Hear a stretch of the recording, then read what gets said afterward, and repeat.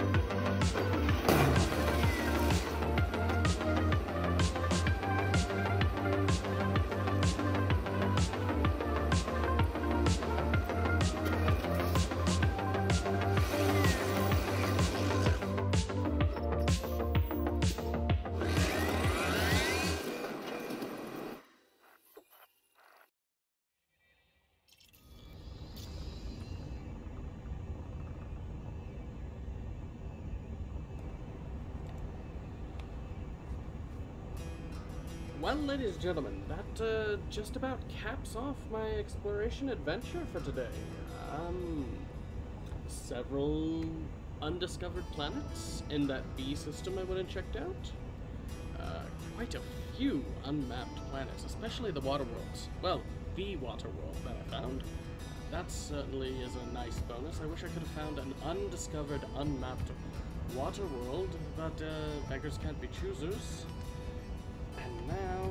Time to go back to. Hmm. Let's see what the Hunters have to say. Hot.forthemug.com. And for those of you that were watching, I did have an issue where I accidentally. I think I just fat fingered my map. I'm in my controls. So, okay, Bernard Star needs 50 systems, Avik needs 50 systems, Epsilon Eridani needs 50 systems, Epsilon Indi, Corvelli, Ross 7, 671, and Van Maanen Star. Can't go to Van Maanen Star, unfortunately. So, let's go to okay. Plot in my route. We're looking at 665 light years.